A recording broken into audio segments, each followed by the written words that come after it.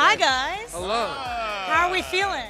Great. Feeling all right? How you feeling? I'm losing my mind because I just saw RDJ as I know. Dude. Yeah, well, it's like these interviews are all just gonna be like us, just going like. Uh. Should we talk about the bombshell that just got dropped? God is back. Okay, so we've seen some team ups in the MCU before. We've got the Avengers. How do you describe this ragtag team that is the Thunderbolts? What is their dynamic like? How does it differ from anything we've seen before? It's like the show Friends. You're Joey. yeah. I'm the neurotic one. Good. I'm Rachel. You're Rachel. Such a Rachel. I never get to hear That's right. Ah, God, how do you describe? We were asked this like 14 years ago when we first started down the road. They like get in their own way a lot.